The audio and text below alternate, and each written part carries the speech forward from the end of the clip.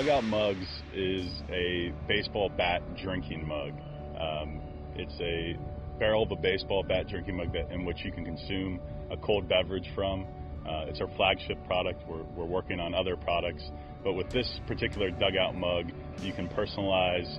Uh, you can get licensed MLB PA licensed uh, uh, logos and players' names on, on the mugs. So the idea of the dugout mug came from the dugout. Uh, when I was coaching in 2014 for my old alma mater, uh, I was the pitching coach at Florida Tech over in Melbourne, Florida, and my recruiting coordinator, Matt Mercurio, cut a, a barrel of a baseball bat and he placed it in the dugout. And I had a light bulb moment, and about six months later, I started pursuing the idea when I moved over to the Tampa Bay area.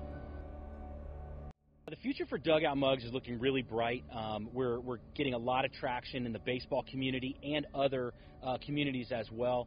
Um, fans are really embracing the idea, and we're all about quality and customer service. So that's going a long way with uh, with with our customers and all of our potential customers as well.